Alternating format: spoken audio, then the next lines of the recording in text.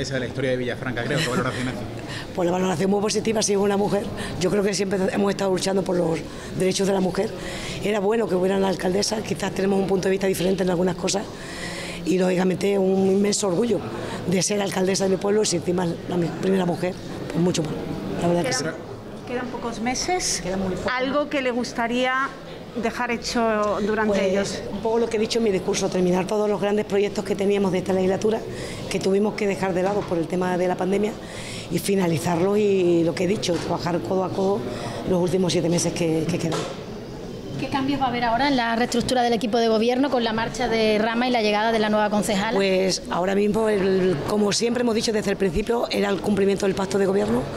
Por tanto, modificaciones no hay ninguna. La única modificación hay es que Joana, lógicamente, pasa a ser concejal y pasa además a ser miembro, eh, en este caso, eh, quinta teniente alcalde. Eh, el reparto de lo que son delegaciones de, de unos y otros, porque lógicamente yo tendré que dejar algunas de las que tenía asumidas, pues se verá ya en próximos días. Todavía estamos un poco organizando lo más importante y entendemos que eso es secundario porque hemos seguido trabajando y así lo haremos hasta que se acuerde esa- esos extremos. Entiendo que puestos de confianza y liberaciones se van a quedar Exactamente tal y igual. como que- quedaron. exactamente igual. Pues yo no quiero valorarlo, es algo que sinceramente me da, me da pena, me hubiera gustado que, que el Grupo Socialista estuviera aquí.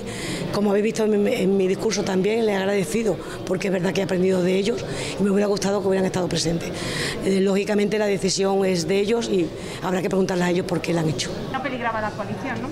No, en absoluto. Eh, eh, nosotros hemos sido respetuosos con el pacto de gobierno que firmamos en 2019 y ante la re- renuncia del anterior alcalde, pues nosotros hemos respetado lo firmado. Por lo tanto, no había ningún problema en ese sentido. ¿Por qué ¿Cuál era la intención del Partido Socialista? Bueno, yo le pedía al Grupo Socialista, en este caso a su portavoz, señor Ropero, que hiciera la propuesta que quisiera hacer en torno a la votación, al, al modelo de votación que se iba a llevar a cabo. Pero no se trataba de que nos diera un discurso, sino que pidiera el tipo de votación que él deseaba. Ese- esa propuesta, como no llegó, pues no se ha podido someter a la consideración de la corporación. ¿Cómo interpreta que el PSOE eh, quisiera que el voto fuera secreto? Pues eh, no lo sé. No sé con qué intención, que alguien se equivoque o que... Es que no lo sé. A lo mejor eh, la sorpresa no iba a ser para el equipo de gobierno, sino para el propio ropero, si fuera el voto secreto. ¿Me entendéis lo que quiero decir, no? Pues eso. Imagino que no es un plato de buen gusto y que influye un poco lo que era el protocolo del pleno. No, no es, no es plato de gusto. A mí me ha tocado presidir este bronco eh, pleno, además con insultos de- del señor Ropero. Yo creo que el que insulta ya se define a sí mismo y por lo tanto yo no tengo nada más que añadir. La democracia es así, el- las leyes están para respetarlas y cuando la ley dice que se vota por eh, el método ordinario o normal, que es a mano alzada, pues no hay ningún problema. Si él hubiera querido proponer otro sistema de votación, se hubiera sometido a la, consideración de los grupos políticos y por mayoría se hubiera aprobado el que fuera. Bueno, yo creo que está muy claro, ¿no?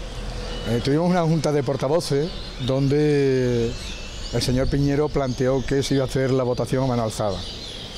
Y nosotros le planteamos sin papeles, sin legislación, que no nos parecía bien, que eso era una barbaridad, que desde el año 79, que había habido elecciones de alcalde en Villafranca y en todos los sitios de España, se vota secretamente y con urna. Se va llamando a los concejales y concejalas, se deposita el voto y se acabó y que pensamos que había que hacerlo así. Y él dijo que no, que así no se iba a hacer. Eh, esto estaba bien preparado porque la prueba está que él no puede ser alcalde en funciones para presidir el pleno porque es el número uno de la lista del Partido Popular y se quita para montar el numerito que ha montado. Nosotros, como no puede ser de otra manera, nos asiste el derecho de decir por qué vamos a votar en contra de la propuesta del señor Piñero Lemus porque nos parece que no se ajusta derecho, que hay seis sentencias del Tribunal Constitucional que establecen que al ser voto sobre persona hay que hacerlo eh, voto secreto, pero los tribunales decidirán, porque nosotros vamos a ir a los tribunales, evidentemente. Pero lo más inaudito, independientemente de que ellos hubieran tenido nueve votos y nosotros ocho votos, ¿por qué ese interés por votar secretamente? ¿Qué querían ocultar? Porque no nos parece razonable que en un sitio como Villafranca quieran ocultar el voto de la gente, que es como se tenía que haber hecho, es decir, no, a mano alzada. Digamos, ya lo más sorprendente de todo es que me diga que no intervengo. Me da la palabra. Dice, intervenga usted brevemente. Y cuando empiezo diciendo por qué votamos en contra según la ley, me quita la palabra. Nos parece total y absolutamente una cacicada, que es a la que nos tiene acostumbrado este señor. Por eso la gente de Villafranca no le quiere. Este señor esta vez ha sacado menos votos que otras veces y ha tenido más concejales, pero nunca ha pasado de cuatro concejales en las distintas candidaturas que se ha presentado. Y como ahora ya sabe que no va a ser candidato del Partido Popular en las próximas, pues está que se sube por las paredes. Pero ese es su problema. Nosotros nos parece que aquí lo que ha ocurrido es algo innombrable e impresentable. Que se cargan un alcalde de la noche a la mañana y parece que no ha ocurrido nada, y se ha ocurrido. Lo que ha ocurrido es que un alcalde democráticamente elegido por nueve concejales frente a ocho de quien ganó las elecciones, pues está gobernando de aquella manera. Nosotros siempre hemos estado diciendo que es que este ayuntamiento ha sido un desgobierno. Cada uno va por un lado. Y en los últimos días pues se ha estado viendo que había un, una, uno tira para un sitio, otro tira para otro. Al final ha ocurrido lo que tenía que ocurrir, que la candidata de, de Ciudadanos, que tiene cinco votos y 1.800 votos, cinco concejales y 1.800 votos y el otro que tiene 1.500, pues no se ha quedado de, de alcalde. Pero vamos, la denuncia pública es que cómo es posible que se haya hecho lo que se ha hecho en el pleno del Ayuntamiento de Villafranca, que no se deje hablar a la oposición para razonar por qué votamos una cosa y no votamos la otra.